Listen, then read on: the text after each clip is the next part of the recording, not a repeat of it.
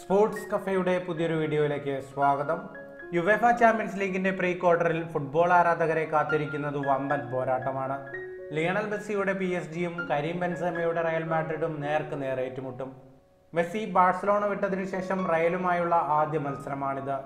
Sergio Ramos ഒന്നര പതിറ്റാണ്ടിന് ശേഷം ആദ്യമായി റയലിനെതിരെ കളിക്കുന്ന മത്സരം കൂടിയായിരിക്കും ഇത്.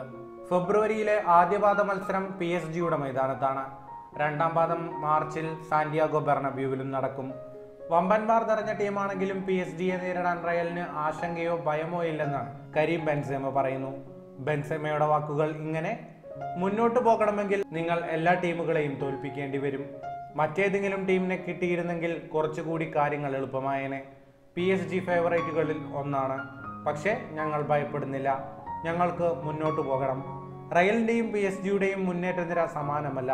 ആരാണോ രണ്ട് കളിയിൽ മികച്ചു നിൽക്കുക അവർ മുന്നോട്ട് പോകും. അത് റയലായിരിക്കുമെന്ന് ഞാൻ കരുതുന്നുവെന്നും ഫ്രാൻസ് ഫുട്ബോളിനോട് സംസാരിക്കവേ ബെൻസേമ പറഞ്ഞു. റയലിൽ ബെൻസേമ വിനീഷ്യസ് കൂട്ടുകെട്ട് നിലവിൽ മികച്ച ഫോമിലാണ്.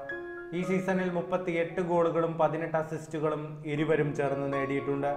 അതേസമയം മെസ്സി നെയ്മർ എംബാപ്പെ എന്നീ ത്രയത്തെയാവും പി എസ് ജി ഉറ്റുനോക്കുക. ഫുട്ബോൾ ലോകത്തെ കൂടുതൽ വാർത്തകൾക്കും വിശേഷങ്ങൾക്കുമായി സ്പോർട്സ് കഫേ. ഇപ്പോൾ തന്നെ സബ്സ്ക്രൈബ് ചെയ്യുക.